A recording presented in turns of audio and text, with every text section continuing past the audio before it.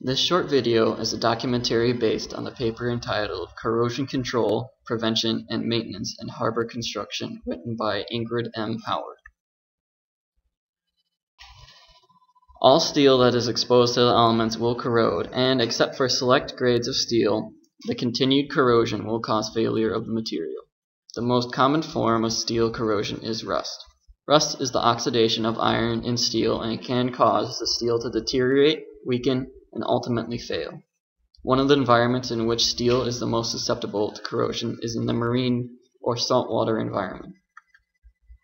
Several different types of corrosion occur in steel. The most common is oxidation of the steel in the form of iron oxides or rust. Other forms of corrosion are erosion from wind and also bacterial and anaerobic corrosion that can occur in the inside of steel pipe piles. Corrosion protection of steel structures in marine environments is very important to the longevity of the structure. Several different types of corrosion protection are available to protect steel from corrosion. Three main types of corrosion protection include cathodic protection, galvanization, and other chemical coatings including epoxy and the corrosion inhibiting chemicals. Cathodic protection can be accomplished in several different ways.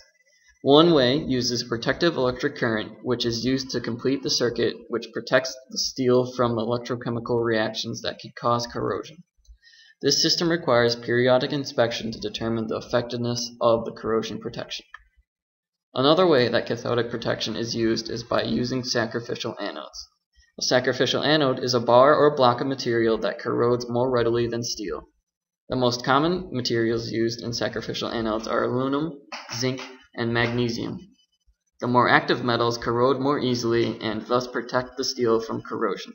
As the name implies, the anodes are sacrificed and must be replaced when roughly 80% of the material has been consumed.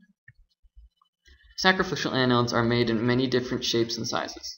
A rectangular anode is the most commonly used shape in marine structures.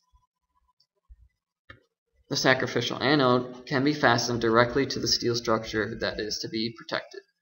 An impressed current system is more complicated and may be more prone to problems due to the combination of water and electricity. Galvanization is the process of coating steel, a steel member with a thin layer of zinc from, for corrosion protection. This process consists of several chemical baths into which the steel is placed in preparation for being coated in zinc. Other chemical coatings may be used instead of cathodic protection in galvanization. These chemical coatings are made of epoxy, aggregate-filled epoxy, urethane, tar, and other combinations of these materials.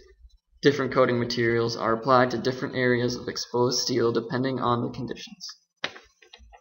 There are several zones in which the corrosion of steel occurs.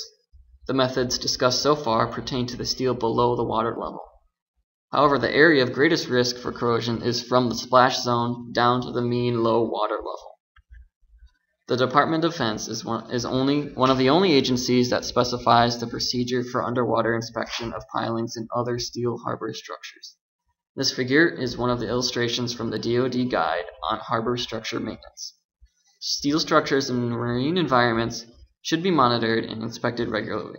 In some cases, the corrosion may not be easily seen and the extent of the corrosion may not easily be determined.